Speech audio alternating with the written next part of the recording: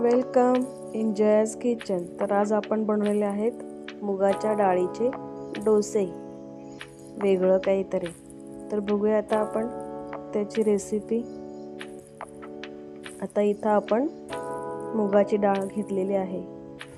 तर आपली ही डाळ सालीसहित आपण हिरव्या मुगाची डाळ घेतलेली आहे.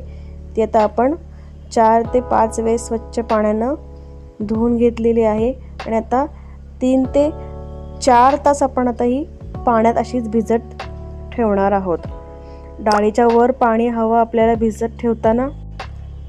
डाळ भिजल्यावर खूप सारं फुल फुगते ती डाळ. म्हणून आपण पाणी डाळीच्या वरपर्यंत फुल्ल भांडं भरून घेतलेलं आहे. आता आपण हे तीन ते चार तास हे भांडं झाकून डाळ तीन ते चार तास भिजत तशीच ठेवणार आहोत.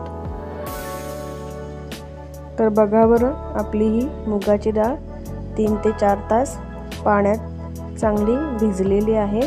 तर आता आपण यातलं पाणी काढून मिक्सर जारमध्ये मुगाची डाळ हिरवी मिरची चवीपुरतं मीठ घालून आपण मिक्सर जारमध्ये एक राऊंड काढून घेतलेलं आहे बघा.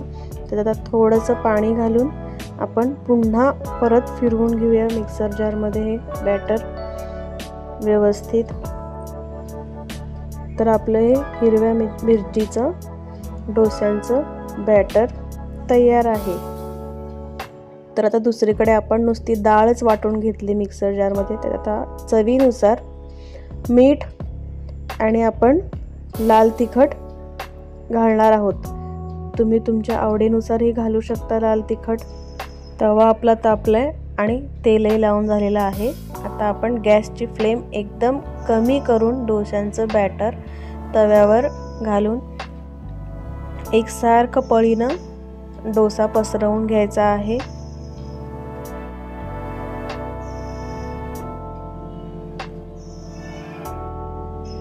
डोसा खालून चांगला भाजलेला आहे. वरण आपण तेल घालून त्याची साईडने त्याच्या कडा सोडवून घेऊया आणि पलटी करूया.